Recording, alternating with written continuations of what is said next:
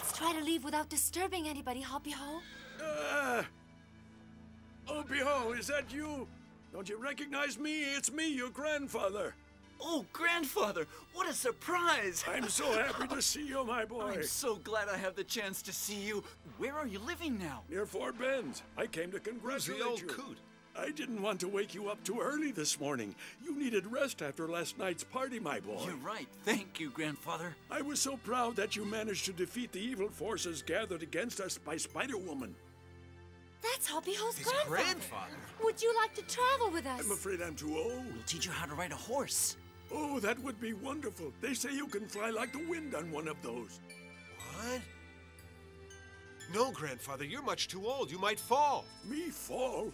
I'm as nimble as an old mountain lion, as sturdy as an oak. Uh, Just like you, Mock. Please be reasonable, grandfather. I've never been reasonable, even as a child. I've always loved new experiences. And if Pocahontas can ride a horse, then so can I. I admire your courage, grandfather. It's not courage. I just want to join you, that's all. And here's the noble beast I've chosen to ride. You're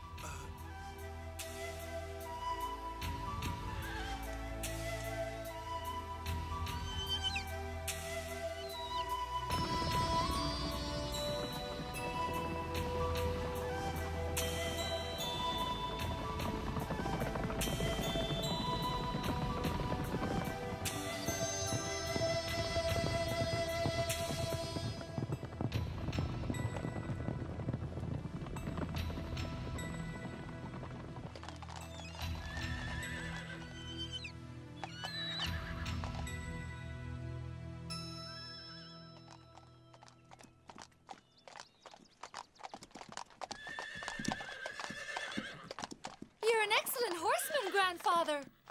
That's a great compliment. Pocahontas is a fine rider herself. I can see that, my boy. I only wish that all our squaws could ride as well as she does. And we're allowed to hunt buffalo. Just what the Great Spirit wants to see. Women hunting buffalo.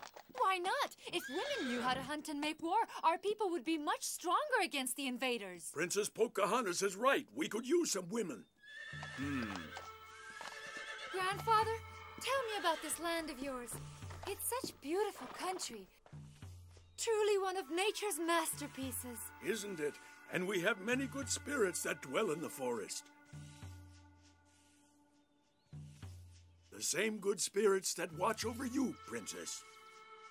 Oh, that's good to know, Grandfather. Hopi-Ho didn't tell me about your friends. Would you introduce them to me? Oh, please, forgive me, grandfather, for forgetting my manners. Don't worry, my boy. it doesn't matter. We're already friends after all. I'm just a simple Hopi. But one worth four of his tribe. That's true. That's why they call me Four Arms. He is a medicine man, a great seer, and a valiant warrior, and well known among all the tribes. We admire him deeply, but among the palefaces he is greatly feared. As for myself, Mock the Mohican, I'm glad I never had to fight you. What do you mean? When you have to face an enemy who's more clever than you, you risk getting your head cut off without even having time to blink. well, that must be Mohican humor. So whose turn is it now? You've already met Pocahontas. I certainly have. Hopi Ho has praised you very highly and told me about your fine deeds. You are very kind. I hope I'm worthy of my reputation. You succeeded in vanquishing the clan of the Spider Woman, a victory for which we Hopis are very grateful. We set out to do battle against all the evil forces that have gathered against us, and many more trials await us. I know, but in your future I foresee victory over them all. Grandfather, your prophecy is very reassuring, but can you tell us what kind of trials we'll face? That's not important. Having Pocahontas with you will prove your best protection. Let me introduce another young brave grandfather. No, wait, I'll introduce myself. My name is Mock, and my tribe is well known far and wide. The Mohicans, you are also great friends to the Eagle. Um, uh, but how, what the... And your friend there is an Iroquois, a member of the Seneca tribe. I am Yellow Wolf. I know. The Mohicans are our neighbors, but we don't always get along. You can be proud, Yellow Wolf. I see in you the wisdom and fairness your people are known for. You're a great warrior. Such praise is making me blush. I am True Feather. What can you tell me? What would you like to know? Your name should speak for itself. You belong to the Cree tribe and come from the northern borders. Did you hear that? He even guessed my tribe.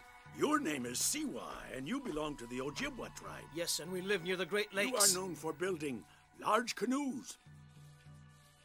And you, my three silent ones, are Eskimos from the far north and live in the land of eternal ice.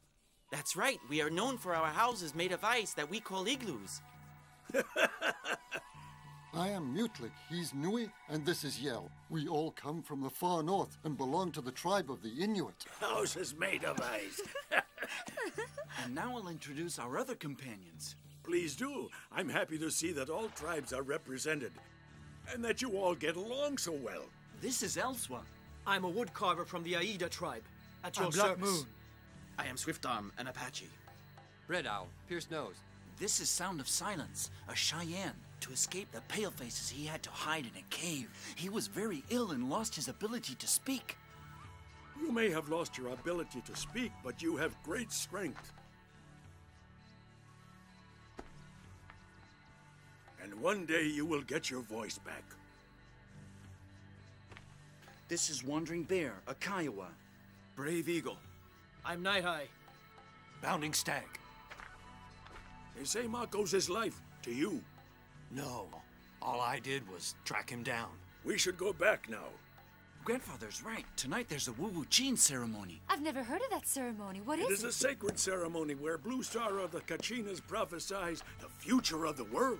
Uh, where will the ceremony take place? In the center of the village where the Blue Star Kachina will sing a song, but you won't be able to understand much. I wouldn't be so sure. You don't know how good I am at guessing riddles. We shall see. Nothing is quite that simple here. In the beginning, when the Blue Star Kachina starts to sing, she might announce good news. But usually it's bad. She has already announced terrible strife with the Shoshone and the other Highland tribes without telling us why. But what are the words of the song? As grandfather said, it's very difficult to understand their exact meaning. All I can say is that every cataclysm and disaster she has predicted has happened just as she foretold. Why are we sitting here chattering? We should get to the Wuwuchin ceremony. You're right. Let's go.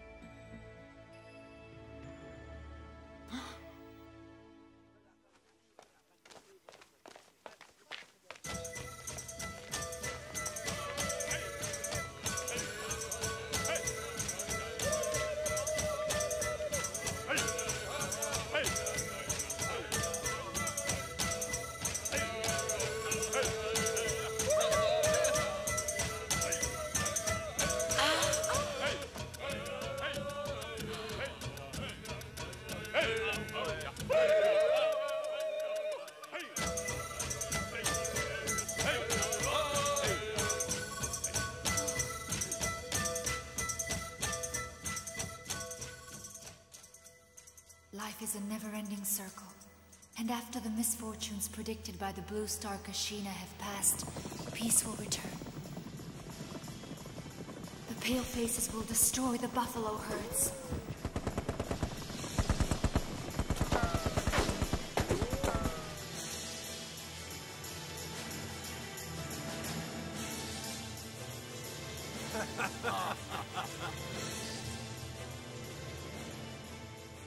Then confine us in reservations. Despite all our laments, our people will be massacred.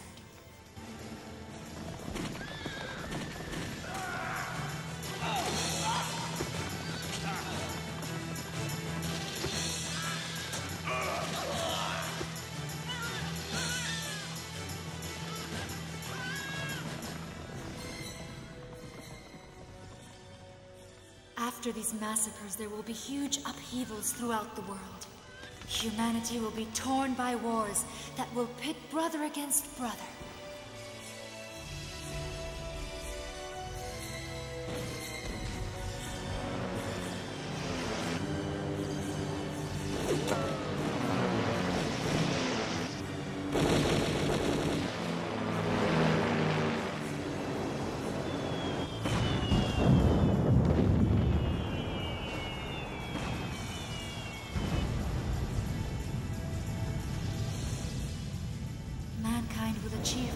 Progress capable of taking people to the stars.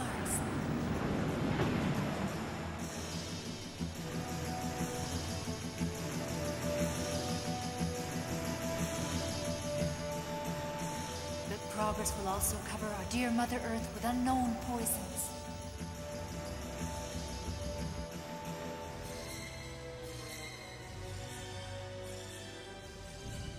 All the fury of nature will be unleashed.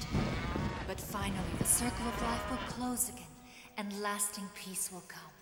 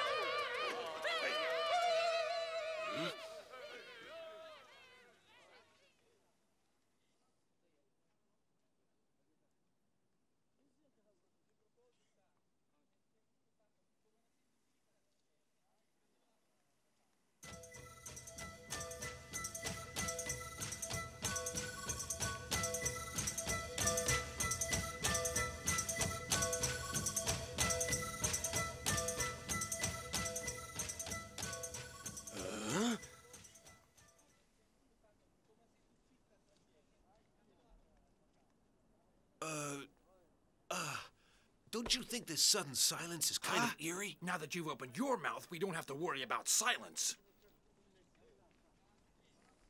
Yellow Wolf, while we're here, why don't we go take a look at the Kiva? Good idea.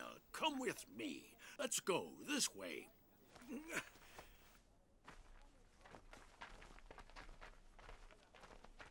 The prophecy made by the Blue Star Kachina hasn't really changed. It's merely added some new elements. Isn't it fun to climb up just to go down again? Yeah.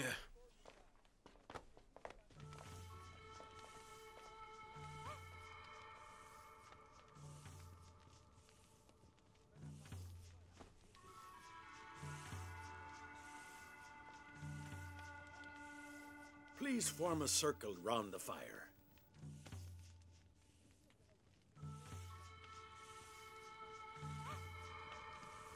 What's the point of our journey and all our struggles if the end of the world is written in the stars? You're wrong, Bounding Stag. Everything depends on man's efforts to re-establish a balance of the circle of life. And remember, the Blue Star Kachina is not infallible. Yes, you may be right. But everyone believes what she predicts, and all her prophecies seem to come true. If you try, anything can be changed. Yes. What do we mere mortals know about what the future holds? Why are we wasting our time discussing pointless questions? Our task is to create the future we want. You're right. We must not lose faith in ourselves. We will need all our strength to help others persevere.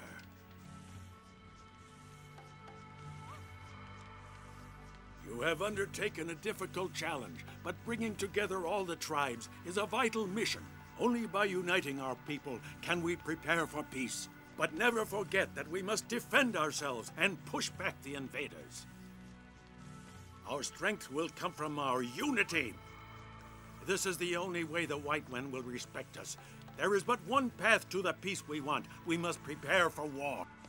We can only hope that our display of strength will avoid bloodshed. Oh.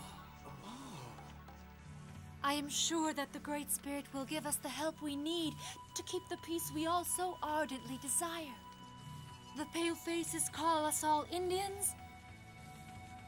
Well then, all Indians must be united in one great nation.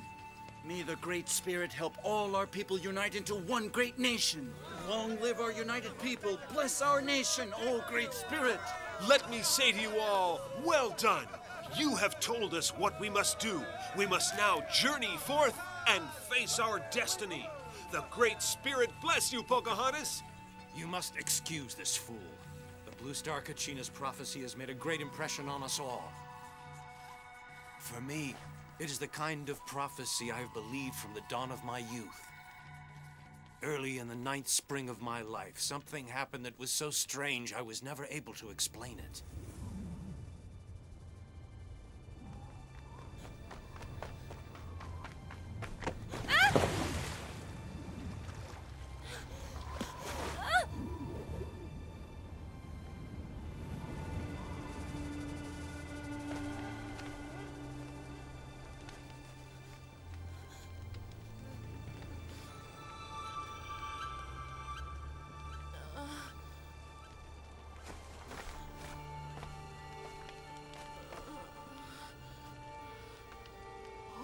Spirit, protect us! This child's forehead is much too hot. This is the sickness that killed an entire Shoshone village a few years ago. You must take him and leave him in the forest.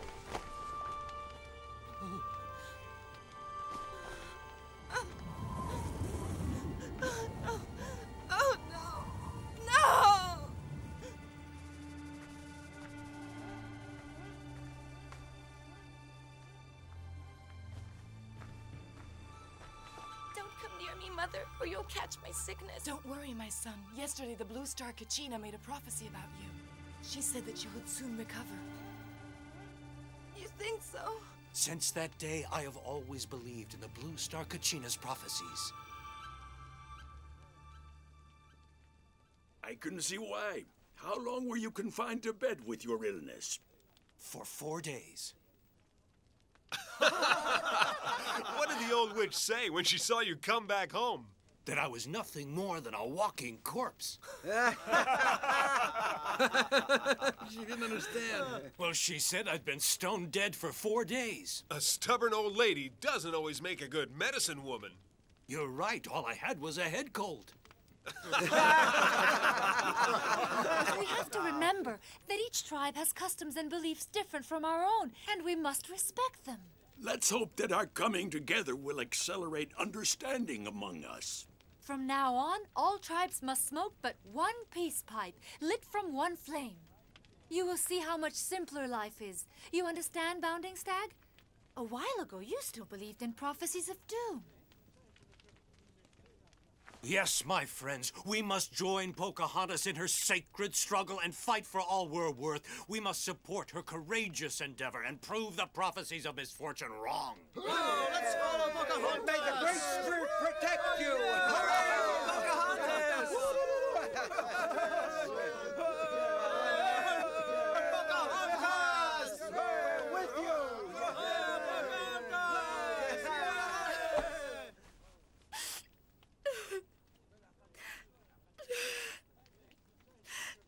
You, Grandfather, for all your support. You can always count on me for help and encouragement, Princess.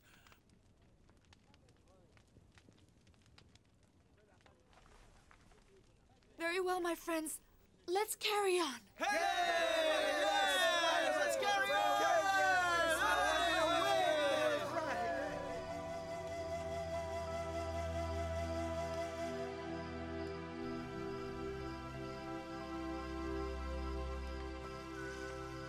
It's good that you took part in the Wuwuchin ceremony with your companions. They come from many different tribes, and there are those who are still unsure, like Bounding Stag. You're right. I think the ceremony helps strengthen their will.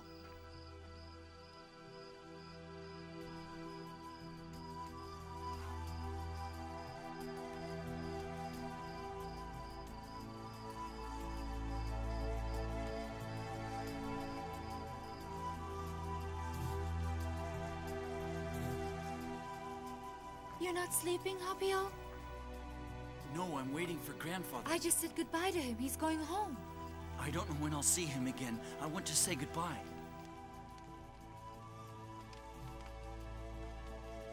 Your grandfather has become a true friend. Really? Of course, he encouraged you to continue on your mission. He understands what I want to do. I wish I had a grandfather like him. He's so wonderful.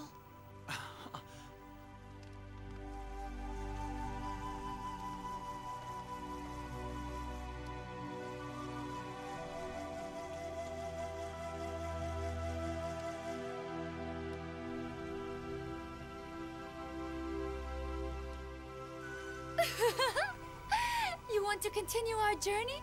You too?